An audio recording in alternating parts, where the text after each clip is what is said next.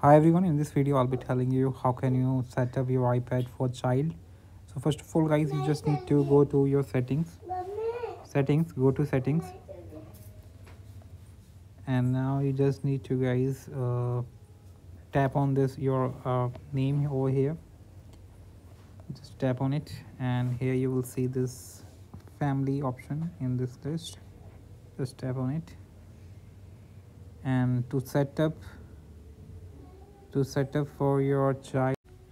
Yeah you have to tap on guys this option called add member in family. And now you can send the invite to others or you can create your child account tap on it. And from here guys you can set up like you can enter the uh, name of your child first name last name and enter the description enter the date of birth and just tap on this uh, verify you are an adult and uh, after this just uh, do the ver basic verification and your ac child account will be set up. So basically this is how you can set up your uh, ipad for your child and uh, then you can send the invite from this uh, ipad to your uh, ipad and or iphone